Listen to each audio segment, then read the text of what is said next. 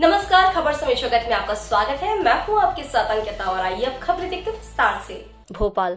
मध्य प्रदेश में लोकसभा चुनाव से पहले होली के त्योहार की वजह से सियासी रंग चढ़ने लगा है। बीजेपी कार्यकर्ता चौसठ हज़ार बूथ पर मोदी गुलाल के साथ हर घर में पहुँचेंगे। प्रदेश अध्यक्ष वीडी शर्मा ने बताया कि सभी कार्यकर्ता हर घर जाकर लोगों को गुलाल लगाएँगे और मोदी की राम राम पहुंचाएँगे। बीजेपी प्रदेश अध्यक्ष ने कहा कि बूथ समिति, पन्ना प्रमुख सभी के साथ होली मिलन कार्यक्रम करेंगे। गुलाल के साथ गुजिये भी होंगे। हम सब मोदी का परिवार है। महिला कार्यकर्ता महिलाओं से संपर्क करेंगी। होली में शोककुल परिवारों से भी मुलाकात करेंगे जो हमारी संस्कृति में है। मोदी समेत अन्य बड़े नेताओं के खिलाफ दिग्विजय सिंह के लोकसभा चुनाव लड़ने पर भाजपा प्रदेश अध्यक्ष ने कहा कि दिग्विजय ऐसे नेता हैं, जहाँ गए वहाँ उनकी जमानत जब्त हो गई। वे इस देश के नकारे नेता हैं। इस बंटाधार को एमपी की जनता ने बाहर किया।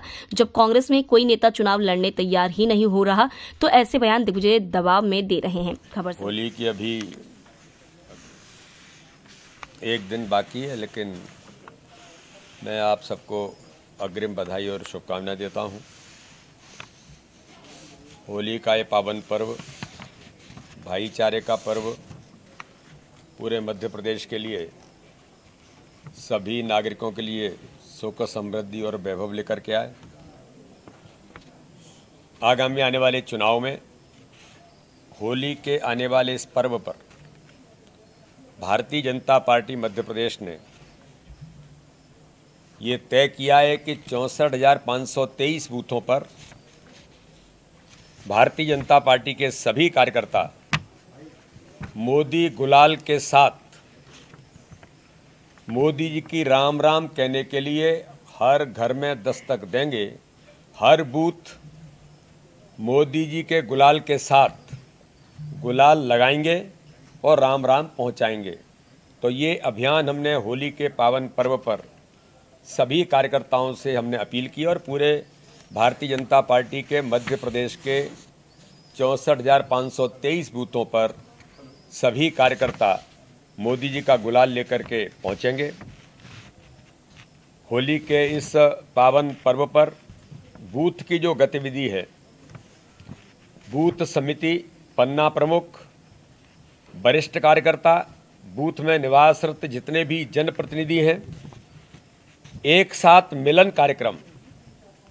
एक बड़ा अनौपचारिक तौर का होली का मिलन जैसा कार्यक्रम, जहाँ गुलाल भी होगा और गुजिए भी होंगे। घर घर संपर्क करके मोदी गुलाल लगाकर, मोदी जी की राम राम पहुँचाने का तो काम करेंगे ही, क्योंकि हम सब, ये मोदी का परिवार है। इस नाते से कार्यकर्ता सभी जगह पहुँचेंगे।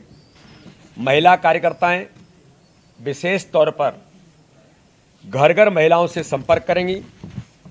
बूथ के गणमान्य नागरिक, जिन्हें हम की वोटर्स कहते हैं अलग अलग समाजों के अलग अलग क्षेत्रों के प्रभावी व्यक्तित्व हैं।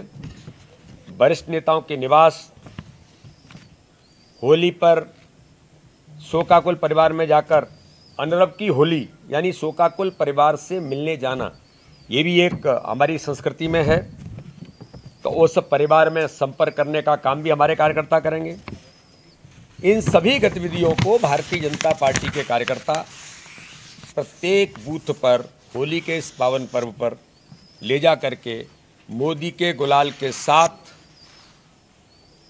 गुलाल भी लगाएँगे और घर घर राम राम भी पहुंचाएँगे। इतना ही मुझे आप सभी मित्रों को उल्लेख करना था और भारतीय जनता पार्टी के सभी कार्यकर्ताओं को, पूरे मध्य प्रदेश को, आप सब मित्रों को होली के पावन पर्व की अग्रिम बहुत बहुत शुभकामनाएँ। अरे, पार्टी तो उनकी पार्टी है। अब मैं कुछ अपने बुंदेलखंड में या चंबल में कुछ कहावतें ऐसी होती हैं जिनको थोड़ा ऐसे पब्लिकली कहना अच्छा नहीं होता। है क्या? तो इसलिए मैं अच्छा नहीं लगता क्योंकि मैं बोलूँगा तो लोग कहेंगे, यार, आप कैसी भाषा उपयोग करते हो? देखिए, दिग्विजय सिंह वो नेता हैं जो देश के अंदर पहला नेता होंगे, जिन्होंने कहा ऑन रिकॉर्ड ऑफिशियली पूछिए आप कि मैं जाता हूँ जनता के बीच तो जनता वोट नहीं देती, जनता उल्टे वोट काट देती है। तो उनको पता है कि जहाँ भी जाना होना क्या है। जमाना जब्त होनी है। तो इसलिए चाहे यहाँ से लड़ो, चाहे वहाँ से लड़ो तो मौका मिल गया है कि कुछ भी बोलो।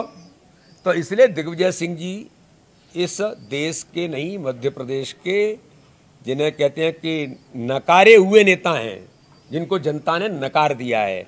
मिस्टर वंटाढार दिग्विजय सिंह, मिस्टर वंटाढार दिग्विजय सिंह, इसी मध्य प्रदेश की जनता ने मिस्टर वंटा ढार को मध्य प्रदेश से नकार के बाहर किया। और मैं तो कहता हूँ कि देश ने भी इनके कृत्यों को और बाकी सारी चीज़ों को देखा है, इसलिए चिंता मत करिए। हार, उन्हें पहले से हार क्या सब कुछ दिखाई दे रहा है, लेकिन चूँकि दबाव है तो इसलिए आज वो ये कहने का प्रयास कर रहे हैं। अब आप देखिए कि मैं कह रहा था कि दिग्विजय सिंह को भारत की संस्कृति पर हिंदुत्व पर आक्रमण करने में बड़ा आनंद आता है, रस आता है इनको। भोजशाला का निर्णय इस मध्य प्रदेश के लिए गौरव और हमारे लिए गरिमा का विषय है कि माननीय न्यायालय ने एएसआई को सर्वे करने का आदेश किसने दिया है? माननीय न्यायालय ने।